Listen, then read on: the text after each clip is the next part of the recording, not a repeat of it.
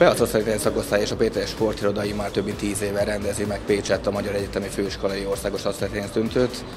Itt a versenyszámok között megkülönböztetünk majd férfi-női csapat, páros és egyéni versenyszámokat, illetve megküzdhetnek egymással nem igazolt sportolók is, hiszen rendezünk egy összevont amatőr egyéni sportágat, versenyszámot, illetve külön érdekesség, hogy az idei évtől nem csak a hallgatók, hanem az oktatók is, oktatóknak is szervezünk egy versenyt. Pécsi Tudományegyetem meghatározó szerepet játszik most már évek óta az egyetemi asztalétenisz sportágban, az elmúlt években többször is sikerült megnyernünk az és megfogó összesített pontversenyét. Volt olyan év, hogy minden versenyszámban Pécsi sikernek örülhettünk, illetve nyáron megrendezett, Lengyelországban megrendezett Európai Egyetemi játékon is két érelmet értünk haza. Egyéniben, párosban és csapatban is elindulok próbálom magamból kihozni a legjobbat, és hát megpróbálom elérni az első helyet, de természetesen sok jó játékos van, úgyhogy próbálok csak jól játszani.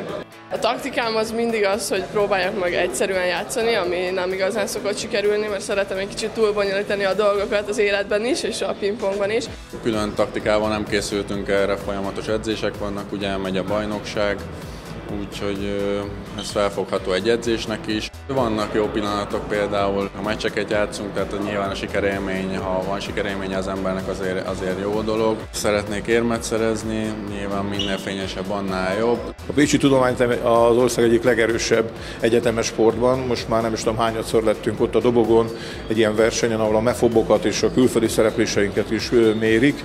Tavaly mi lettünk az elsők, és megvertük azt a TF-et, ahol profi sportolók dolgoznak és sportolnak, tanulnak legtöbben Magyarországról.